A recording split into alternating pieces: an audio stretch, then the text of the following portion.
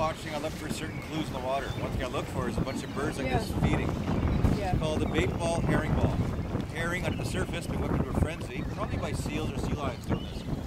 The fish in the thousands probably, a tight ball to escape with the prey from um, below. Birds see the big black cloud, they keep from on top. Right.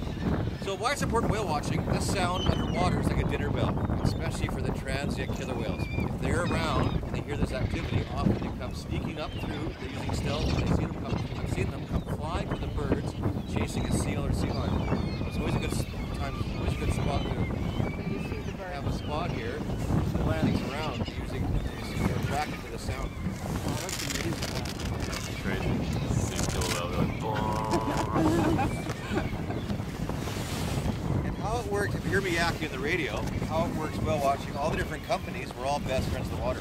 We all have these new fancy new uh, digital radios, even all the American companies, and we all keep in touch. We all share the same channel, and we all share information. On our system, so we all go different directions. All the boats from Vancouver, even all the boats from the U.S. side, come around. We all kind of keep, keep in touch with each other where everybody's been. We, we share information about condition-wise, but also whale and what we've seen. So if anybody comes across the transients, then we put the word out. We all go racing over there and, and look at them. So that's how it works.